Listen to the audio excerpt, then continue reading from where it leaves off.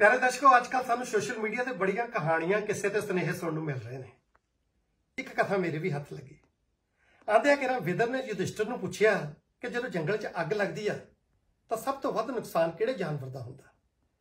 ਯੁਧਿਸ਼ਟਰ ਨੇ ਜਵਾਬ ਦਿੱਤਾ ਕਿ ਸਭ ਤੋਂ ਵੱਧ ਉਹ ਜਾਨਵਰ ਅੱਗ 'ਚ ਸੜ ਕੇ ਸੁਆਹ ਹੁੰਦੇ ਨੇ, ਜਿਹੜੇ ਅੱਗ ਲੱਗਣ ਤੋਂ ਪਹਿਲਾਂ ਹੀ ਆਪਣੀ ਪੂੰਛ ਨੂੰ ਅੱਗ ਲਾ ਕੇ ਬਾਹਰ ਦਲੇਰੀ ਨਾਲ ਘੁੰਮਦੇ ਫਿਰਦੇ ਨੇ। ਜਿਵੇਂ ਸ਼ੇਰ ਹੋਇਆ, ਚੀਤਾ ਹੋਇਆ, ਹਾਥੀ ਹੋਇਆ, ਬਿੱਲੀ ਹੋਈ, ਬਾਂਦਰ ਹੋਈ, ਹਿਰਨ ਹੋਇਆ। ਕਹਿੰਦਾ ਫਿਰ ਬਚਦੇ ਕਿਹੜੇ ਨੇ?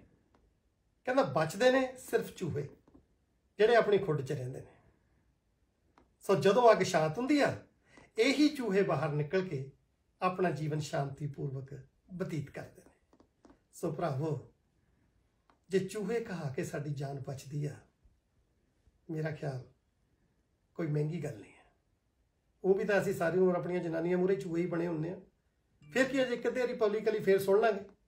ਨਾਲੇ ਚੂਹਾ ਕਹਾਉਣਾ ਤਾਂ ਮਾਣ ਦੀ ਗੱਲ ਆ। ਐਵੇਂ ਨਹੀਂ ਗਣੇਸ਼ ਚੂਹੇ ਦੀ ਸਵਾਰੀ ਕਰਦੇ ਰਹੇ। ਸੋ ਆਪਣੀ ਆਪਣੀਆਂ ਕੋਡਾ ਮੇਰਾ ਮਤਲਬ ਆਪਣੇ ਆਪਣੇ ਘਰੇ ਟੇਕ ਕੇ ਬੈਠੇ ਰਹੋ।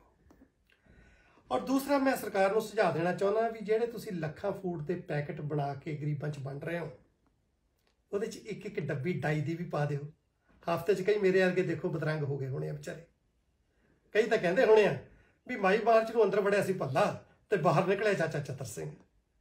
ਖੈਰ ਤੀਸਰਾ ਸੁਨੇਹਾ ਇਹ ਆ, ਸਰਕਾਰ ਕਹਿੰਦੀ ਆ, ਬਾਹਰ ਸੋਸ਼ਲ ਡਿਸਟੈਂਸ ਬਣਾ ਕੇ ਰੱਖੋ। ਪਰ ਮੈਂ ਕਹਿੰਦਾ, ਬਾਹਰ ਦੇ ਨਾਲ ਨਾਲ ਘਰੇ ਵੀ ਸੋਸ਼ਲ ਡਿਸਟੈਂਸ ਬਣਾ ਕੇ ਰੱਖੋ। ਓਏ ਮੁਲਕ ਦੀ ਆਬਾਦੀ ਤਾਂ ਪਹਿਲਾਂ 135 ਕਰੋੜ ਨੂੰ ਟੱਪੀ ਫਿਰਦੀ ਆ।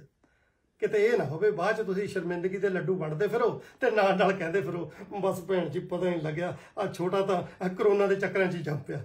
ਵੱਡੇ ਦਾ ਨਾਮ ਪਖਰਾਜ ਪੱਲਾ ਤੇ ਛੋਟੇ ਦਾ ਕਰੋਨਾ ਪੱਲਾ jokes part stay blessed stay at home ਹਾਂ ਸੱਚ।